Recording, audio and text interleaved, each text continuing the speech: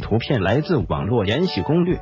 舒平能够活到最后，并且有个不错的结局，着实让人意外。舒平虽然聪明，但也只是小聪明，和《甄嬛传》的齐贵人和夏冬春一样，外表美丽，修养却不够。个人觉得，一直跟着舒平的陆婉婉才是一个不简单的角色。陆婉婉对自己非常有自知之明，自己不够美貌，不够显眼，自然不能引起皇上的注意，所以也断了做宠妃的念头。虽然不喜欢舒平。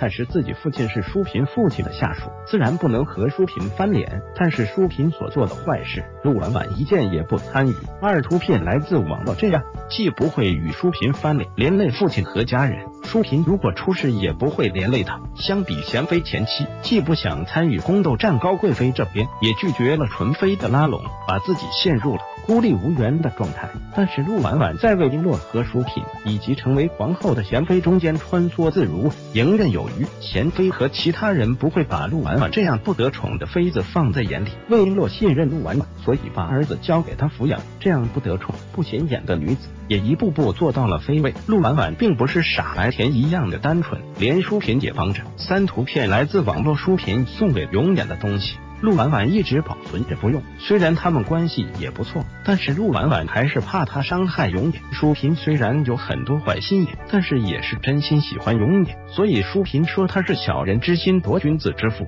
后来陆婉婉又真心道歉，两个人又和好如初。陆婉婉没有存在感，一方面使他不得宠，但是另一方面也使他不招妒忌。